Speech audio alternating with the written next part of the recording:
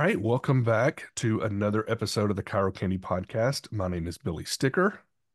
And this is Matt Keenan.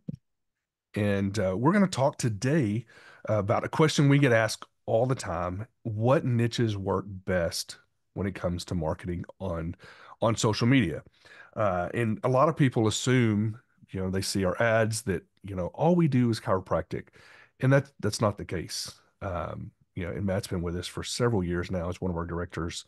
Um, we see all kinds of campaigns that you know all kinds of different niches that chiropractics chiropractors are doing in their office, uh, and and we've seen success with really all of all them. of them. Yeah. Uh, so what we're going to do today is we're going to break down the different campaigns and go over some key strategies that we've seen work with each one of these different niches. So, uh, if there are different things that you do in your office, stay tuned because there's a great chance we're going to be talking about that particular niche. Uh, you know, whether it's decompression, neuropathy, knee, weight loss. Uh, we're going to cover all these and more uh, in this episode. So, um, Matt, why don't you start? What What are some just key things with just chiropractic that we know works well? Well, chiropractic in general, obviously that's that's our main draw. Most of the time when we have a new client, we recommend starting with chiropractic, just general chiropractic, because with that, um, it kind of gives us a good sense of um, what the demographic is like and what we're working with with other campaigns in general. Doesn't always 100% tell us um, what we can expect, but it gives us a good idea because that's what we're most used to.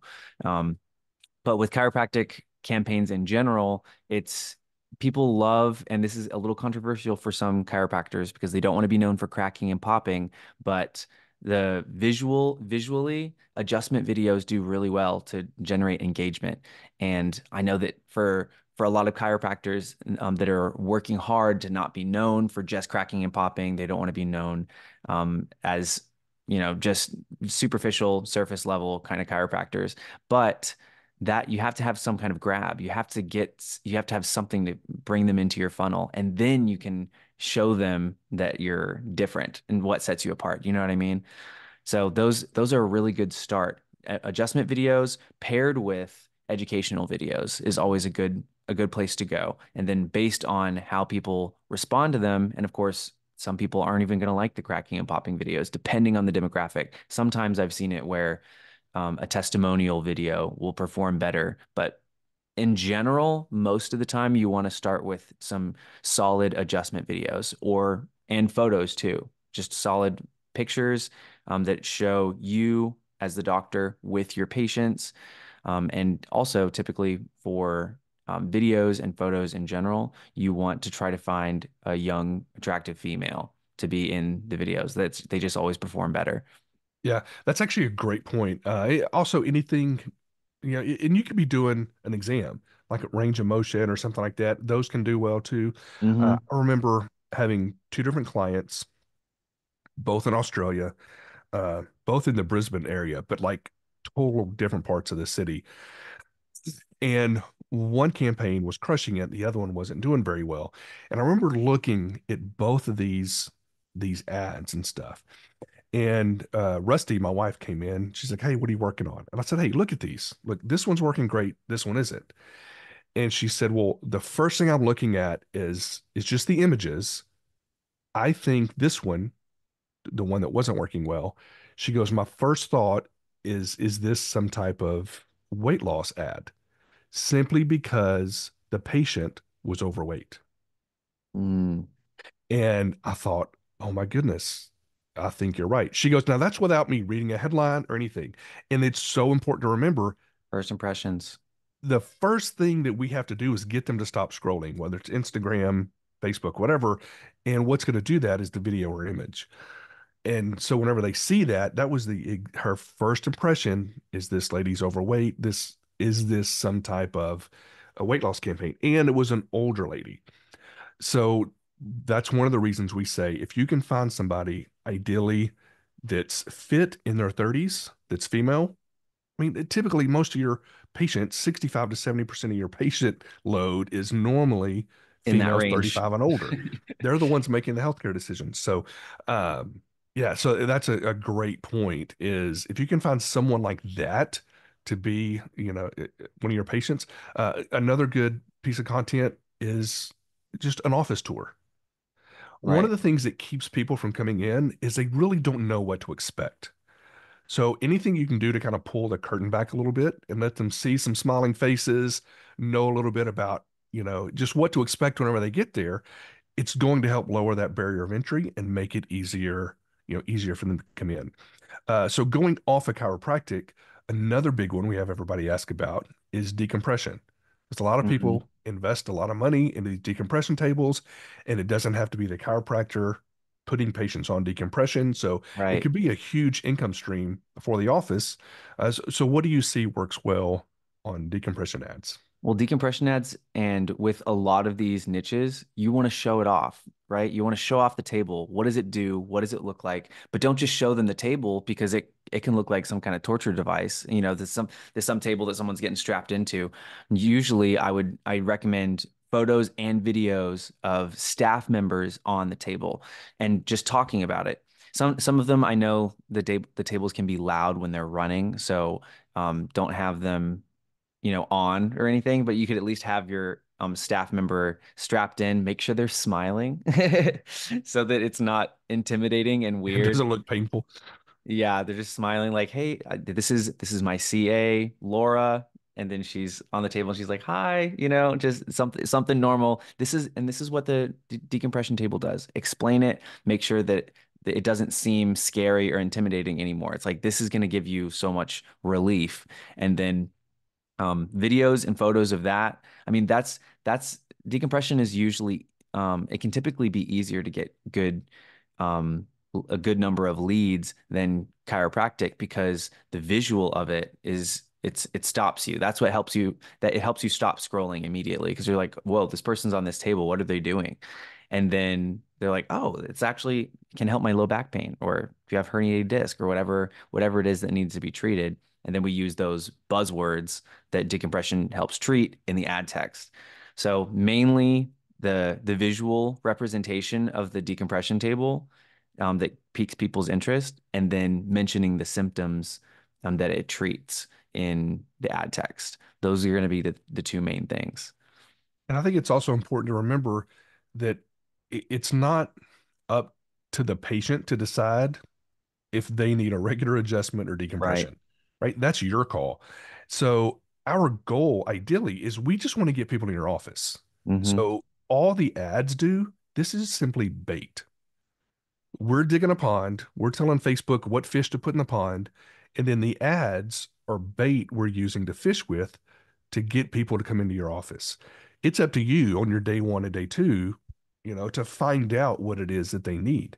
Exactly. And a lot of times it's just getting people in the door that helps them then do other things, uh, which that actually leads me. I'm gonna let's talk about massage.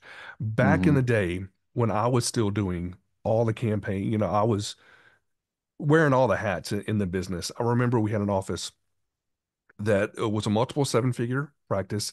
They did just about every different niche you can think of in there. And we still have lots of offices like this. They do all kinds of different niches.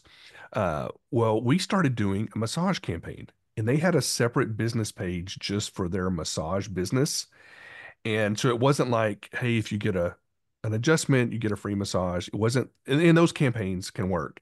We've done those, yeah. Yeah, we've done a bunch of those. But what we did with this particular office is it was a, and we tested several different prices. And I remember what worked best was giving them the option. It's like, uh, hey, we're doing this special, and you can come in for a 30 minute massage for $20 or a th- or a 60 minute massage for 30. So it was like they see 20 bucks for massage and they think, "Oh, yeah." And then they're like, "Well, hang on a second. For $30, I can do an hour massage." And the doctor, his goal was he paid his his uh, massage therapist 20 bucks an hour. He just wanted to cover that. Uh, but he also said, look, once they come in and they see how big we are and that we do weight loss and that Everything we do you have to offer, yeah, cover all these different things in our office. We've got this huge team and everybody's happy. It's a great environment. I just need to get them in. So that ad ran for probably a year and a half, and it generated leads at a dollar ninety a lead, like the massage, entire time. Massage does that. Massage campaigns can be very successful. It was crazy. And so he ended up having to hire more massage therapists. But what he did is he would bonus his massage therapist uh, 20 or 30 bucks for every appointment they scheduled for something else. So, for example, you know, they're giving the massage saying, look, there's only so much I can do here. You got something going on with your neck. I really recommend you see our chiropractor. And if they book that appointment, the massage therapist got a bonus. And it worked incredibly well because the goal is the goal in advertising is not to sell them on your services, it's to get them to take the next step. I mean, this mm-hmm. is marketing 101. The goal of the image or the video is to get them to stop scrolling. Then we want them to read the headline. We want them to read the text. We want to create interest. And then from there, we want them to schedule an appointment. From mm. then, we want them to show up for the appointment. Then we want them to actually listen to you, right? It, we're not trying to sell them on why they need chiropractic the very, very first time they see you. We're trying to walk them down a path. It's the same thing with email marketing. Like trying to hold their hand look, down the funnel. Right. The first thing they look at is who's the email from, not even the subject line. You know, then they look at the subject line, and the goal of this subject is to get them to open the email. And then mm-hmm. your first line of the email is to get them to read the second line, right? You're trying to walk yeah. them down a path. And it's the same thing with marketing. So the same thing what we're doing online, we're just trying to bring them down a path. Um, so anytime you can get something that's a yes offer, so that's why massage works so well is, you know, if you went to the mall and went to the food court or just somewhere that there's a lot of people and you stood up on the table and said, Who in here wants a free chiropractic adjustment? You might have five to 10% of the people raise their hand. But if you said, Hey, who in here wants a free massage? Everyone's hands go up. You're going to have tons of hands go up because it's such a yes offer.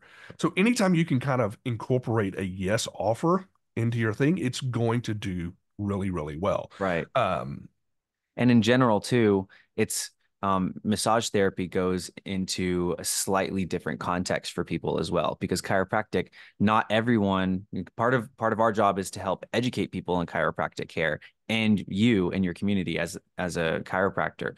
But um, not everybody sees chiropractic as necessary. People are skeptical about it. Whereas massage therapy everyone everyone believes in massages. Everybody wants a massage. So it's it can be a lot easier to sell at times but it's a good way to get people into your door but i know that not everybody has a massage therapist in their office so Yep. Get one. another big camp or another niche that is extremely profitable that a lot of our doctors are doing uh, is neuropathy. So let, us uh, I'll have you talk about neuropathy some. Yeah. So neuropathy, the main thing, obviously, you want to make sure that your age demographics are set up correctly because you don't want to be targeting 25 year olds for neuropathy. That's not going to be your your target. But um, for neuropathy, that can that can be something else that definitely needs. I mean, all of them need visual representation, but um, especially for neuropathy, it needs a little bit more um, explanation for people as well. Now, um, I st- I still like to target um, for our retargeting audience. We usually um, target younger audiences so that they can um, people who may be caretakers for their parents. You know, it, we're we're going we'll target as low as you know like 35, 40 um for for their age because some people may be looking at these ads for their parents and such. But in general for neuropathy, it's also important to show what kind of um, device you use because there are a lot of different kinds and we we use stock images when we don't have something from our clients but we like to tell them like hey we want you to show what you use and explain it you know? It's it makes a very easy visual aid. As as a chiropractor you start the video and say hey um, this device helps with neuropathy. Let me tell you how. Easy opener and then immediately they want to know about it because whether it's um, a glove or some sometimes it's just a treatment.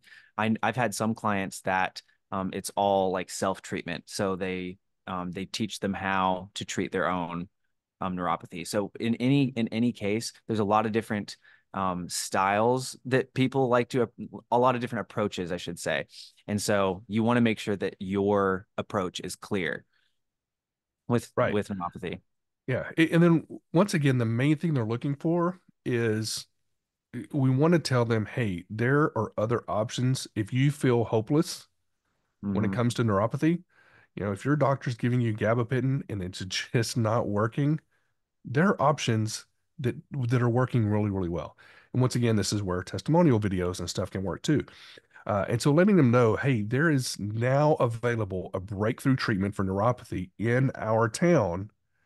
Let me tell you about it. Uh, yeah. it really gets people's attention. And one of the things that, that's important to know and whether this is facebook instagram and tiktok you know we're talking about these platforms and it's good to know the different demographics that are on them. Uh, mm-hmm. Uh, so it's one thing about who's producing content and then who's consuming the content. So even on TikTok, we've got a, a doctor in Austin that does a lot of neuropathy. He doesn't even do Facebook and Instagram. The only thing he does is TikTok, and it works extremely well for him. But he's been extremely consistent putting out videos when it comes to neuropathy. Right. And we had heard years ago that one of the biggest demographics as far as consumers of TikTok are people 50 and older, which really sounded surprising. Yeah. Uh, people assume that it's just, you know, 21 and younger. Yeah. Those are the ones making the content. Yeah. But a lot of people 50 and older. And I remember Brady pointing out to me that my dad recently passed away, but he's like, you know, Papa's been sending me TikToks for the past several years. My dad was in his 70s. And he did. We used to rodeo growing up. And so he would send us these rodeo TikToks and uh and he was in his 70s, you know.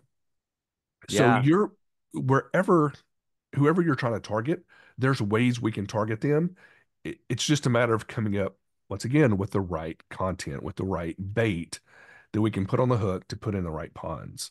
Uh, well, also one one more thing for neuropathy, I would say that one of my clients used is before and after photos, like of the I, I think it's like the thermal imaging of like the the blood flow, you know, the improvement to just to show like this is what this is what um yeah, our patient was dealing function. with beforehand. Yeah, the nerve. I'm yeah, I'm not. I can't I can't remember exactly what it what it was called, so forgive me. But um, the before and after photos of their patient to show the actual improvement is is a big deal too. Instead of just saying, "Oh yeah, we treat neuropathy," because some people they've they've gotten bad treatments that didn't work, and so you want to if they're if they're older and they've been dealing with this for a long time, chances are they've tried a few things that haven't worked for them. So having something like that and the testimonial video that says, "Hey, this doctor really really works. I've tried this, this, and this." And then I came to Dr. Billy Sticker or whatever. And he was able to treat me. And I feel so much better. I'm much more functional. My quality of life has improved. That's what people want to hear. Yeah. Because what they're thinking is, you're like, is this, does this really work? And is it going to work for me? Is it easy? Is it affordable? Mm-hmm. Right. These are some of the things that they're thinking. Uh, but first off, if they don't believe that it can actually work, it doesn't matter if it's affordable. Like they don't care. They first want to know is That's this going to work? Is it going to work for me? Then we'll talk about you know the finances and stuff, and that's something you don't even want to cover on the ad anyway because no. we're, we're walking we want to get them in the door right that's the next step uh, and then there's you know so we have stuff for neuropathy uh, and then even there's campaigns and stuff we can run based on specific equipment that you may have in your office um, like StemWave or Shockwave, you know, these right. different types of tools, we've seen those work really well. Uh, why don't you talk about some of those campaigns? Yeah, those those can be exciting because there's there's um there's an excitement, a draw to it because people are a little bit more unfamiliar with it, and it looks pretty cool. You know, like the Shockwave devices, um, they're usually just a little handheld device with a wire, and they just see them like rubbing it uh, in on certain places and um, if the the video has volume then it makes this like weird shocking sound you know because it's i'm sending sound waves the, the clicking noise yeah the little the clicking that's a that's a better way to describe it but those typically do really well especially photos videos of this device they're like wow this looks state of the art this is this is brand new but then when you list everything that it helps with I mean, it's it's the two it's the two together. You know, you can't you can't just have a good video that shows off the device without clear ad text that Right. explains it. You know, you can't, and then if you have clear ad text that explains it, but then you don't really have the device, they have no concept of what this looks like. Am I going to be put in a, you know, in, in a room or am I, is it just like a little, is there any electricity in it? They don't know.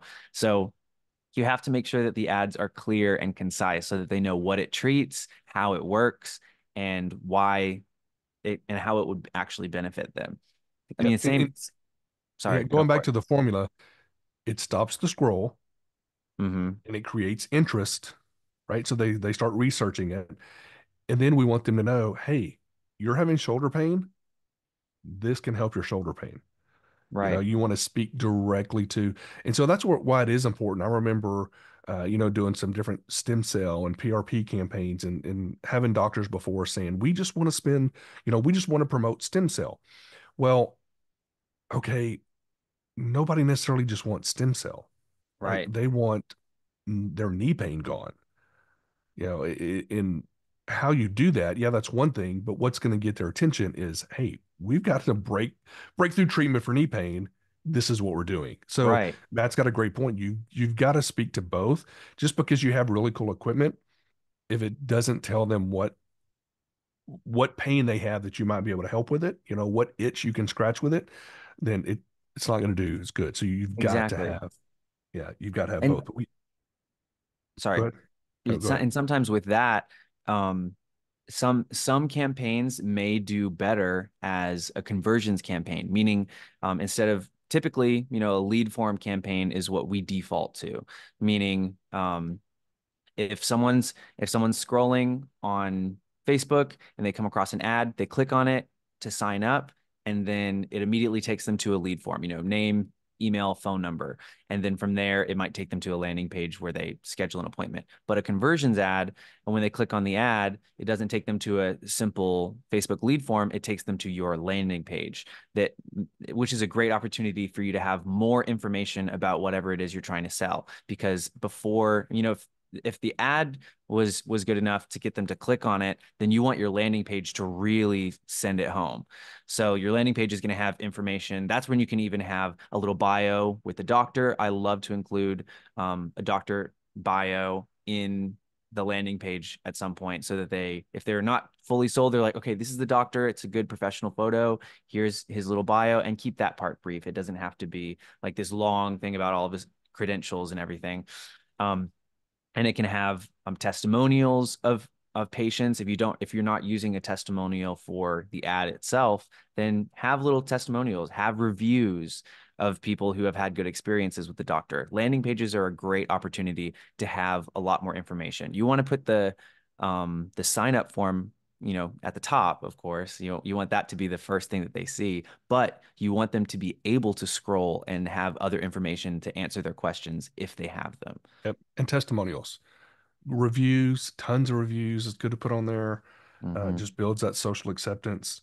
Uh, so yeah, great point. Another one that uh, we've struggled getting approved in the past, but we're seeing it get approved a lot more is weight loss.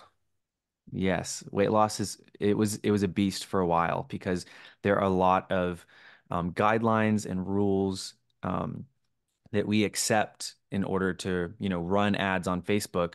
A lot of their policies are very specific against um, assuming uh, an ailment on someone or like assuming that your um, audience is fat or, you know, they don't they don't want any anything to feel like a personal attack on anyone. So we can't specifically target um, that. But the way that we get around it is, you know, we we can't use specific words, right? They don't they don't usually like it when we use um, words like semaglutide, or so, sometimes it gets approved, sometimes it doesn't, because it is ultimately, you know, this weird algorithm, and the the algorithm sometimes accepts things and sometimes it doesn't.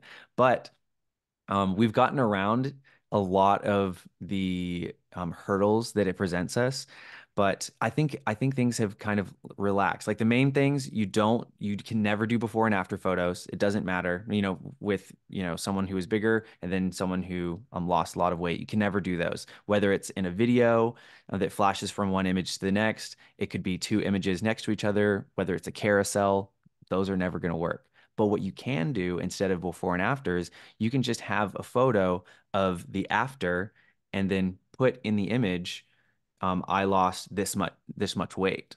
And those work really well. I, I have a doctor in um, Lincoln, Nebraska that does that instead. Instead of doing a bunch of before and after photos, he does like updates. He posts updates about certain clients, um, certain patients that don't they don't mind. They're like, hey, can can we use this to help other people lose weight? They're like, yeah. So then he'll just take a photo with them, and um, then it says so and so's lost um 90 pounds so far, and then you know the next month it says 120 pounds down. You know, and then that's and that's encouraging. And then I run both of those ads, so then people are seeing both of them, and it's like, oh wow, they lost 90. Oh, they're still losing weight. But it's also it's also important for people to know what your weight loss treatment is, not just lose weight, but some people may may not want, you know, an injection. So you might have um, a lipo light bed or red light therapy, contour light, you know, whatever it is that you have. And then we promote that as like a tanning bed for weight loss or, you know, what, whatever it is. Cause sometimes it's just like the wraps with the lights, yeah. but sometimes it's like a whole bed that you lay down in. And those, but you know, that's another great example though of getting somebody's attention.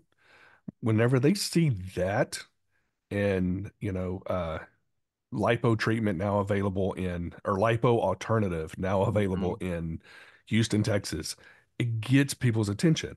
Uh, that a lot of times, you know, that'll get them in the door, and then you sell them on whatever weight loss package, nutrition, right. like whatever it is that includes so many sessions of, you know, of the red light treatment or, or whatever it may be. Um, and that one you need to get with weight loss. You that one you have to be the most creative when promoting, honestly, because it doesn't like certain words, and so it'll it'll disapprove the ads several times before it actually approves them. Every time I do a weight loss campaign, it it dis it rejects some of the ads, and then and then I have to like go in and critique things, tweak things. Sometimes it it won't let you use, you know, like the word Ozempic or semaglutide, but you can, you know, kind of hint around to it, or you can even like make up your own words sometimes and people will know exactly what you're talking about. You can use emojis like the needle emoji, things like that. They're like, "Oh, he's talking about some semaglutide." And people know how ads work. You know, they yeah. know they know that you can't say certain things and so they get what you're trying to put down. So another image another image we had one of our uh, offices do is instead of a before and after picture, they did the after picture, and instead of just it saying how much they lost, they had those big oh, yeah. things of fat, like Perfect. you know, 20 pounds of fat. And this lady's holding 20 pounds of fat. She's smiling really big. Yeah. You know, I'm down 20 pounds. I'm down 30 pounds. And so it's just them holding this. Uh, but those ads are that. really, really, really well. Um, you can and, buy those fat approved you can get those fat chunks on Amazon. You can buy fat on Amazon. yeah, yeah. So that's another great one. Uh, another another one that we've talked about briefly is knee. You know, mm-hmm. knee campaigns. That's if you can just say, hey, uh, knee replacement, you know, knee surgery alternative now available. Uh, it gets people's attention. Nobody wants to have knee surgery. No. But so many people feel that that's what they need to because they, they go to the surgeon, right? And to a hammer, everything looks like a nail. You know, a surgeon, yeah. of course, they want to operate. That's what they do. Uh, but to let them know, hey, there's actually a breakthrough treatment we have, whether it's laser that you're doing in your office or whatever. Uh, once again, this comes back to being able to promote the tool and promote the treatment, right? The, the results right. that they're going to get with it, being able to do both.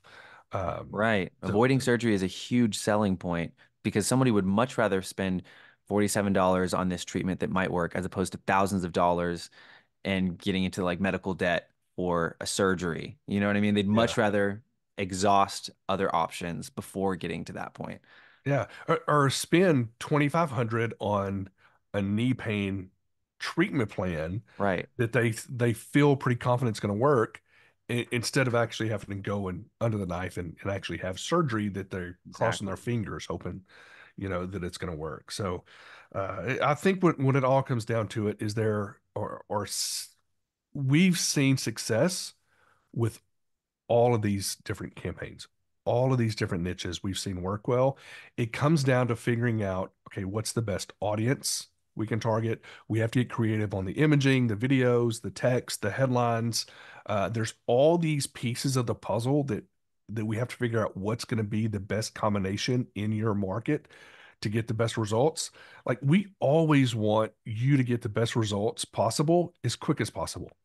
Right. And you know, it's not like like it doesn't do us any good. Like we really want you to get the best results. So if, if you're doing these on your own, go for it. Hopefully we've given you some ideas, some things that you can tweak. Uh, but remember this. We say this all the time. It's a Grant Cardone quote. Best known beats best. So the more you're promoting yourself, the more content you're getting out to your community and then building those retargeting audiences so they're seeing you over and over and over and over again. All the different things you do people start to know who you are. You become this local authority this local celebrity. And then when you have some kind of new patient offer eh, they're saying yes to you not yes to some discounted offer even exactly. though the, the offers and stuff work we want to promote you we want you know you want people saying yes to you uh, so if if this is something that you would like help on, whether you just want our team to look and see what you're doing now and maybe give you some pointers, you can schedule a call with our team and we can do that. Uh, or if you want to work with us, schedule a call. You can go to chirocandy.com. You can schedule a call there. Or maybe you've worked with us in the past. Uh, I don't know of any other agency that's been around in the chiropractic profession as long as we have. We're almost 10 years now. We've been doing this. I've seen a lot of new companies, you know, we see them all the time kind of come and go, but we've planted our flag. We've been here for a while. We're not going anywhere. Uh, but even if you worked with us in the past, you know, that's one of the things I'm proud of. Every single month we have returning clients. You know, they went Every somewhere month. else, tried it, and then they come back. Every they always come back. They always do. Yeah, we see that happen. So even if you've worked with us in the past and you want to work with us again, uh, we got some great things going on, and we'd love to help you make the biggest impact in your community that uh, that you can. So that's it. Any closing thoughts from you? No, honestly, I just want to put. I, I just want to push more that you still need to make videos. Videos are always are always going to be the thing that we push for. They work. You have to you it have to tell the story, so well. and that's part of the story. Yeah. Yeah, and, you get better. You know, it, that's one of the things we, we actually have some training that that our clients go through, and it's real basic.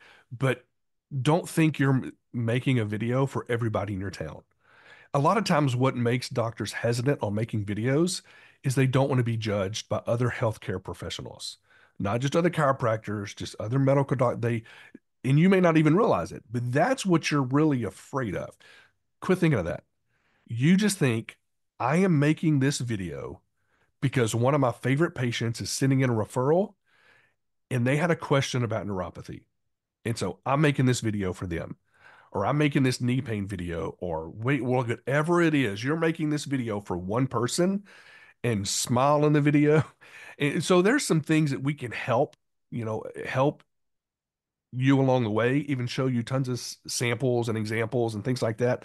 Uh, and that that is one of the things that we see work the best is just simply producing content. So, all right, that's it. We will see you guys next time on another episode of the ChiroCandy Podcast. See ya.